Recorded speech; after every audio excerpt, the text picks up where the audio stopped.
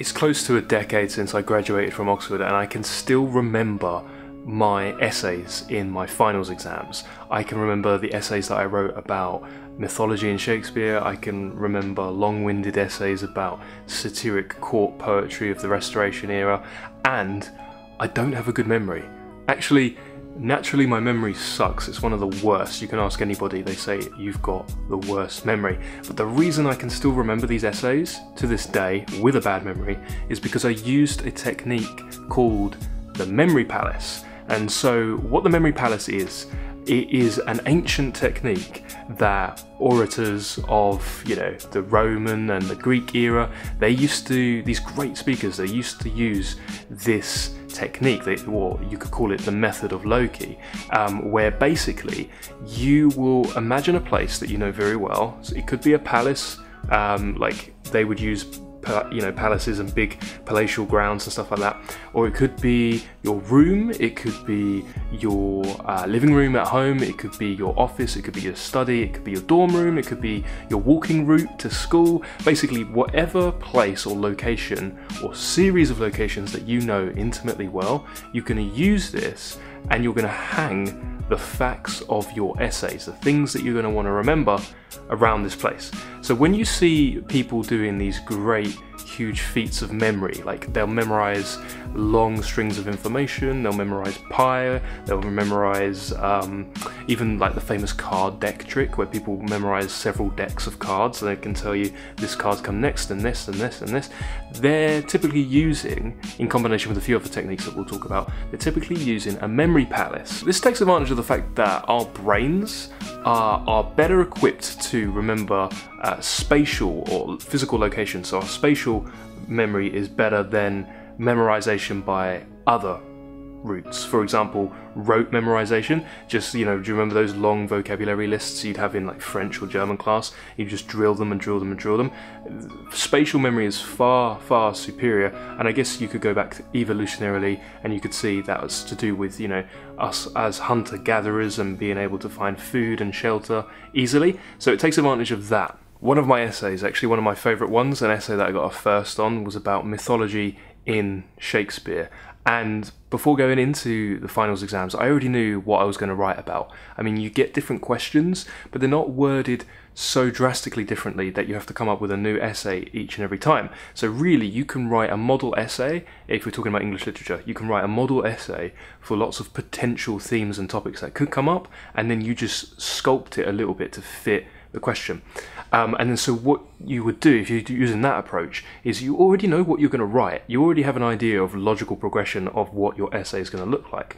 And so for me, I knew when the topic of mythology and Shakespeare came up, the first thing I was going to kick off with um, is a quote from Nietzsche, Friedrich Nietzsche. And I had a lot of different quotes. So how did I order it? How did I know firstly what the quote was and which one to pick first. So what I did for my for my memory palace, I chose my dorm room, and I knew every nook and cranny of this dorm room. It was a small dorm room. Um, I knew my bed. There was a bedside table. There was a chest of drawers, uh, a cabinet. There was the desk. There was a little hall entrance where you could go to another room, my roommate's room, or you could go into the bathroom, and then there's different things in the bathroom. And so what I did was I put different things that I was going to talk about in the essay in a logical progression as a little mini walking tour through my dorm room. So I knew I was going to kick off with a quote from Nietzsche, and the quote was An overpowering feeling of unity that leads back to the heart of nature. Now, luckily, you don't have to memorize whole quotes verbatim in English literature or many other topics anyway, but you do need the key words. So the main words in that one that you want to remember are overpowering, um, feeling of unity, and heart of nature, or back to the heart of nature. So what I did was I knew when I start my essay, I'm going to start right at the top of my bed where I usually put my head, and I thought, right, I'm going to put Nietzsche here, sitting on the bed. And a lot of people know what Nietzsche looks like. He's got that big moustache, he looks depressed, he looks grumpy. Um, and so what I did was I made it a very, very strong image of Nietzsche. And what you want to do when you do a memory palace, not only will you pick a place that you know really well, but when you populate it with yeah, things you're going to talk about, make the imagery very, very strong. So I put Nietzsche at the top of my bed, visualized him very well, and um, I visualized him like trembling and shaking and rocking back and forth because he's got this overpowering feeling. And then what I did was I imagined him throw himself back and start rubbing the duvet and talking about, you know, oh, the unity, man, the unity. It was like as if he had just taken some LSD and he was having a bit of a hippie trip.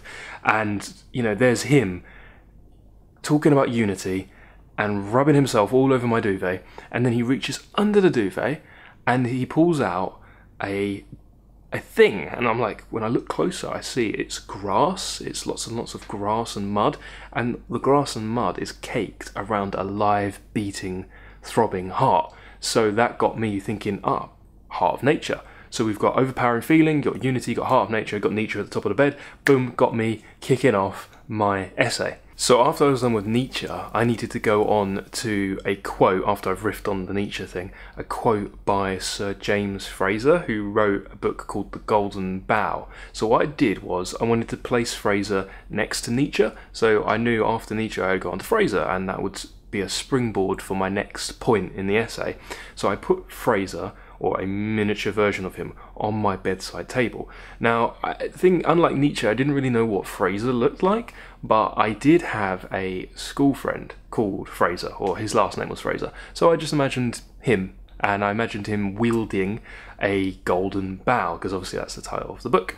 Now, for this, um, I wanted to remember there's a chunk, uh, a big chunk uh, paragraph that obviously you know you're not, not going to remember all of it, but there were some key words in the paragraph that could help me go on with my argument. So obviously I can't remember the paragraph verbatim now, but I'll read it out and then I'll tell you how I remembered the key quotes from it. So he wrote, and um, I, I knew that if I remembered the key quotes from this or the key phrases, I could go into talking about magic in Shakespeare and I could talk about uh, Prospero from The Tempest. So James Frazer wrote, even the savage cannot fail to perceive how intimately his own life is bound up with the life of nature, and how the same processes which freeze the stream and strip the earth of vegetation menace him with extinction. So the key phrases for me were savage, uh, freeze the stream, and menace him with extinction. So what I did was I imagined um, Frazer looking like a savage. So he was all tattered clothes, caked in mud and shit. And then I imagined him using that golden bough to poke something on the bedside table.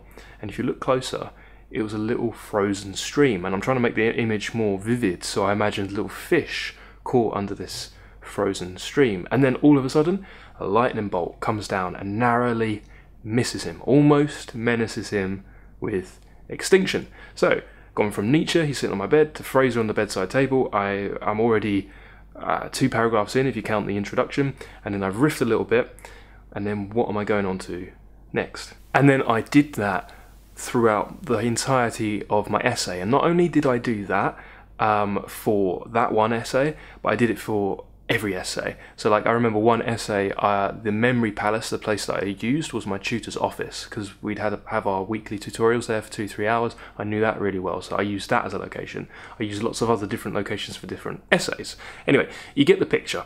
Um, what I would say as well is you want to make the the imagery as vivid as possible. If it's violent, sexual, scatological, disgusting, funny, all the better. No one else has to know what your little story, what your image is, what your memory palace looks like. It's going to look like a mental ward, but that's good.